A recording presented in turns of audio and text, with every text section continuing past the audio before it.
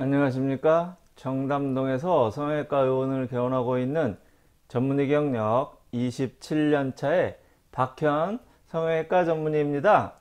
그 썸네일을 보시고 들어오셨겠습니다만 오늘, 오늘은 왜 여자들이 나이가 들어 노화가 되면 얼굴이 남성적으로 변하, 변하는지에 대해서 한번 알아보도록 하겠습니다. 안녕하세요 선생님. 나이 먹을수록 여자들 얼굴이 남자같이 변하나요? 그냥 저만 그런가 싶어서요. 제가 얼굴이 넓적한 편이긴 한데 나이가 들면 들수록 얼굴이 자꾸 남자 같아져요. 머리숱이 많이 빠져서인지 이마도 넓어졌고요.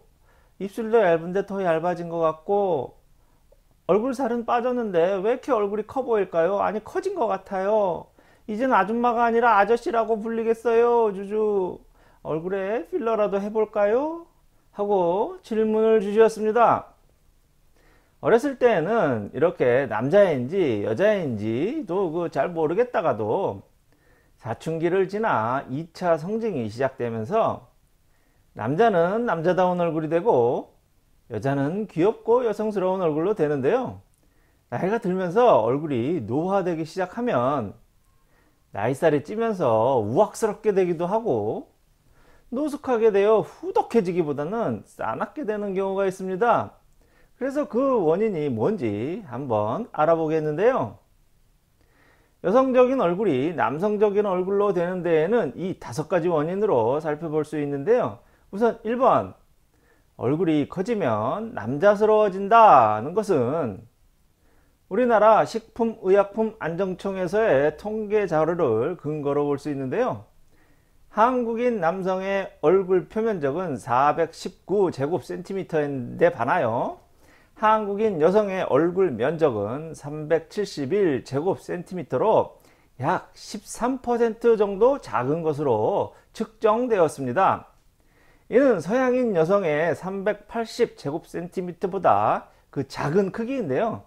이는 서양 여성 얼굴이 입체적이라 작아 보인다고 연예인 얼굴이 작아 보이는 이유라는 동영상에서 제가 한번 분석해 드린 적이 있습니다.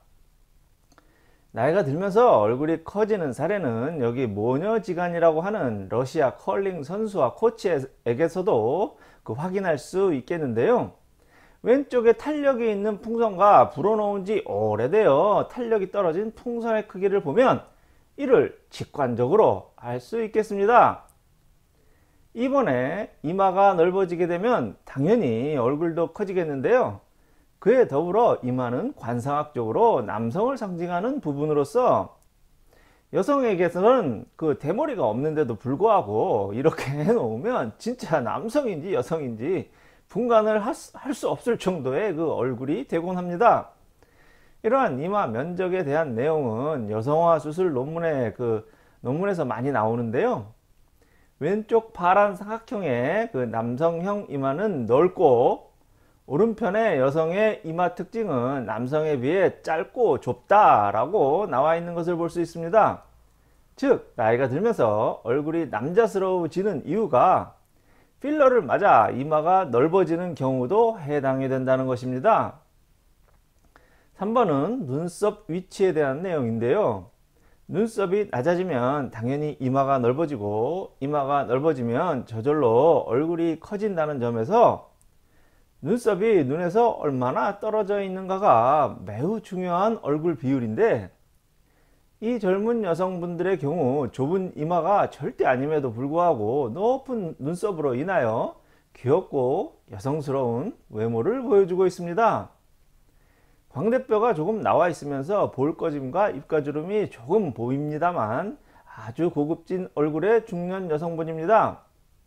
오른쪽의 여성 또한 왼쪽 여성에 못지않게 그 귀티나는 얼굴인데 왼쪽 여성보다 광대뼈가 덜 튀어나와 있고 콧날도 얄쌍하게 세워져 있습니다만 왠지 나이가 들면서 남성미가 풍겨져 나오는 것은 바로 왼쪽 여성의 그 왼쪽 여성에 비하여 눈썹이 낮기 때문입니다.